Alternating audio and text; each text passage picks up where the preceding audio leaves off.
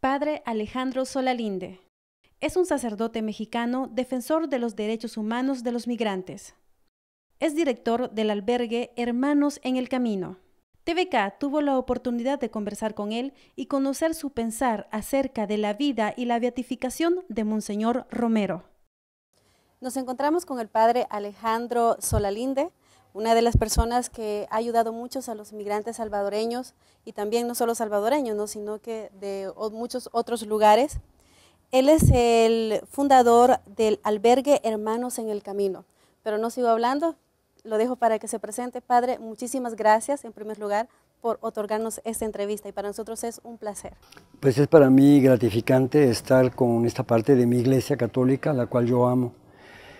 Eh, pues soy eh, el director del albergue para migrantes hermanos en el camino de Ciudad de Istepec, Oaxaca, eh, a unas cinco horas de la frontera con Guatemala. Y lo hemos abierto con el amor del mundo para, para recibir estos hermanos y hermanas procedentes de Sudamérica, Centroamérica y desde luego pues nuestros queridos hermanos del Salvador. Padre, nos gustaría conocer cómo conoció usted a Monseñor Romero. Bueno, fue una, yo lo conocí a él antes por sus trabajos en 1979 en, la eh, pues, eh, conferencia episcopal, la cuarta conferencia episcopal latinoamericana que tuvimos en Puebla. Eh, fue de veras edificante, fue, podríamos decir, la figura central, una de las figuras centrales en ese momento. Pero personalmente hablar con él ya más detenidamente fue aquí en El Salvador, en el Seminario Mayor, cuando tuve la oportunidad de, conversar con él. venimos un grupo de misioneros, platicamos, nos eh, platicó de su vida, nos explicó las homilías, nos obsequió las homilías, tomé fotografías con él, nos tomamos fotografías y pude descubrir en él desde las primeras conversaciones a un hombre de paz, un hombre de Dios, un hombre valiente, un hombre que a pesar de su dulzura, de su mansedumbre, pero era un hombre muy fuerte, muy valiente, que podía, que sabía perfectamente el riesgo que corría y a pesar de todo, eh, él podía y debía cumplir la misión encomendada por Jesús. La impresión que yo tuve al verlo fue de un profeta, una, impresión imborrable en mi vida, que me, dejó claro que era un hombre evangélico, eh, comprometido con, con las causas de la justicia y los derechos humanos. Esa parte que usted dice, ¿no? Que Monseñor Romero también ha sido defensor de los derechos humanos y también ha sido defensor de, defensor de los más necesitados. Sabemos que usted, padre, también ayuda a los más necesitados. Queremos saber, eh, usted y él han luchado por ayudar a los más necesitados. ¿Cómo ha, influenciado quizás el mensaje de él en su labor? Bueno, primero que los dos tomamos como referencia la fuente que es Jesús. Pero también él es una persona que, se daba cuenta de la, mm, corrupción que había, de la violencia, la injusticia, eh, cómo los poderes se ceñían, eh, se cernían contra el pueblo salvadoreño. Y él sabía perfectamente en esos momentos en que era el presidente Romero, él me habló del presidente Romero, eh, como, como esa, esa, esa, pieza clave de parte de los intereses de Estados Unidos, pues para estar en contra de todo un pueblo y masacrarlo. ¿no? Él, era consciente de todo eso, pero a la vez él jugó un papel importante, muy equilibrado. Para mí fue un ejemplo muy bueno de cómo, cómo mantenerse fiel a la Iglesia Católica, a pesar de que en ese momento la Iglesia Católica en su mayor parte sí estaba comprometida con altos poderes políticos y económicos del mundo.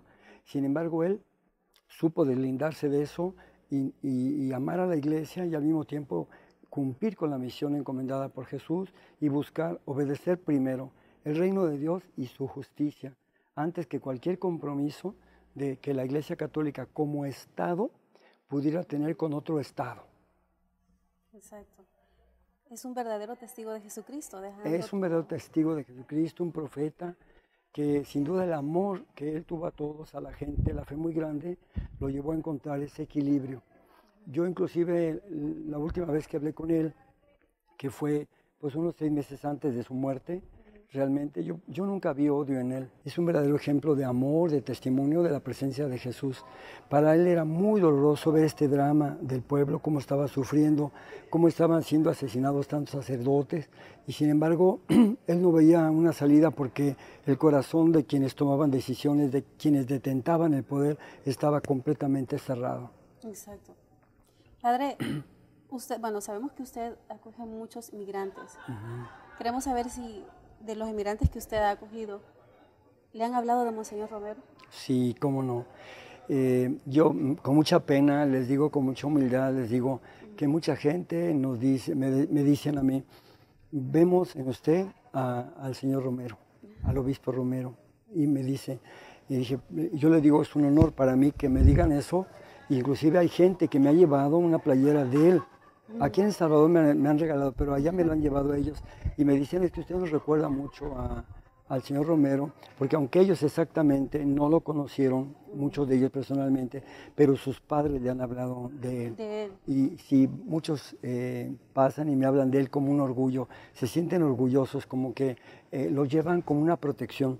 Eh, Óscar Arnulfo Romero para ellos es como, un padrino de migración, como un gran compañero de protección, lo, protege, así lo sienten muchos de ellos. Sí, bueno, y también que en ese tiempo de conflicto en el país, muchos tuvieron que huir también. Claro. Y yo pienso de que también ese, bueno, Monseñor Romero creo que, bueno, ellos llevaron a Monseñor Romero muy dentro de su corazón, ¿no? Seguramente, seguramente. Y es una pena que hubieran asesinado al obispo Oscar Arnulfo Romero porque si él estuviera, si hubiera quedado con vida, ¿verdad? Estoy seguro que no hubiera existido la historia de heridas abiertas por 22 años que ha sufrido El Salvador.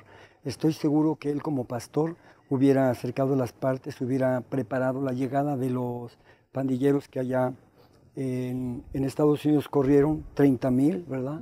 Los 30 mil despiadadamente los corrió Estados Unidos como malhechores, aquí los trataron muy mal, y él los hubiera seguramente recibido y hubiera buscado una forma de transición para ayudarlos a salir primero del dolor, de la drama, del, drama, pero de la violencia que ellos habían vivido en la, en la guerra, para haberlos curado, haberlos sanado y haberlos integrado con mucho amor a la sociedad, muy lejos de lo que hicieron después aquí en El Salvador. Sus sucesores nunca se preocuparon por eso. Eh, el padre Cortina sí lo hizo, jesuita. Lástima que, pues, eh, desgraciadamente hayan cerrado su obra, pero realmente sí se preocupó por ir cerrando esas heridas que finalmente siguen abiertas. Exacto, padre, porque a pesar de que la guerra, eh, en el, aquel conflicto ya haya pasado, pero El Salvador todavía tiene heridas, hay mucho rencor y bueno, y esperamos que esta próxima beatificación quizás sea, sea como la puerta al perdón y a cerrar esas heridas, ¿no? Eh, creo que no se trata nada más del perdón, el perdón ya está dado, no es el perdón. Es, un diálogo donde se reconozca el crimen, donde se reconozca la injusticia, donde se reconozca que ciertamente hubo una injusticia en aquel tiempo, pero también una injusticia que todavía sigue cobrando violencia, que son los pandilleros primero, los maras después. Antes que victimarios, los, mareros son víctimas de la sociedad, del gobierno y sobre todo de la omisión de la Iglesia Católica. La Iglesia Católica prácticamente los condenó, pero nunca se preocupó por, integrarlos, fuera de algunas iniciativas que se han dado, de algunas personas como el padre Cortina, como la UCA que ha tenido una experiencia también bonita, el padre Pepe Morataya y otros más que se han preocupado por esa restauración. La jerarquía católica, siento decirle, me da pena, pero es la verdad, eh, omitió muchas cosas. Entonces creo yo que si viene la, mm, beatificación y no se hace el esfuerzo por, dedicarse de veras a la pacificación, al reencuentro, a escuchar a, los victimarios que fueron víctimas también, no va a haber paz en El Salvador y entonces lo único que va a haber será un gran comercio de la beatificación de, de Óscar Arnulfo Romero. Sí, bueno, pero pues esperamos que esta próxima beatificación sea quizás el inicio ¿no? de la paz de la paz en El Salvador y esperamos que así lo sea. Ojalá que sí, pero esa paz la da Cristo, esa paz no la da como la da el mundo y esa paz tiene que construirla, sobre todo la jerarquía católica, las autoridades eclesiásticas, son las número uno que tienen que construir esa paz con toda la gente. Pero sabe, Padre, que también la beatificación, el, hecho de que hayan eh, beatificado a Monseñor Romero, también puede ser un paso también para unir a la iglesia. Monseñor Romero quiere la unidad. Obviamente, claro que sí. Siempre ha querido la unidad y ha predicado el Evangelio, ha predicado el amor de Dios. Claro. Y yo creo que esa unión, creo que poco a poco ya se está viendo. Creo que muchas personas que no conocían a Monseñor Romero, que ignoraban todo lo que él hacía, incluso personas católicas, gente católica, eh, no estaba de acuerdo con Monseñor Romero. Pero al ver ahora que ya va a ser beatificado, yo creo que algunas personas ya, ya, ya están conociendo esa labor, la verdadera labor del Evangelio de Monseñor Romero. Y ese es nuestro objetivo también, tal vez como Iglesia Católica también es, es ese nuestro objetivo, ¿no? Demostrar el, el, amor y demostrar el Evangelio que Monseñor Romero quería predicar. Qué bueno que toca ese tema, qué bueno que lo toca porque Jesús precisamente, preguntándole a Pedro, Pedro, ¿me ama? Y dijo, sí Señor, te amo. Pues entonces la medida del amor a la iglesia y el amor a Jesús es la caridad pastoral. Yo insisto, si la jerarquía católica, la iglesia católica actual, actualmente aquí en El Salvador, no hace todo lo posible y supera omisiones del pasado y no trata de unir a la gente sobre la caridad pastoral, entonces va a ser como un parche la beatificación. Padre, ¿cómo recibió usted la noticia de la beatificación de Monseñor Romero? ¿Dónde estaba? Qué, ¿Cuál fue su impresión cuando el Papa dijo que eh, Monseñor Romero iba a ser beatificado? Bueno, yo estaba acabando de celebrar la misa con, en el albergue con los hermanos y hermanas migrantes. Me dio una inmensa alegría, aunque tengo que reconocer que una cosa es la, el reconocimiento oficial a su santidad y otra cosa es que él ya siempre ha sido santo. Claro. Es protocolo nada más, pero me dio mucho gusto y es reconocer su lucha, su esfuerzo, su profetismo. Pienso que esto va a tener muchos cambios en la iglesia. Qué pena que haya tenido que venir eh, Papa Francisco para reconocer esto, pero nunca es tarde.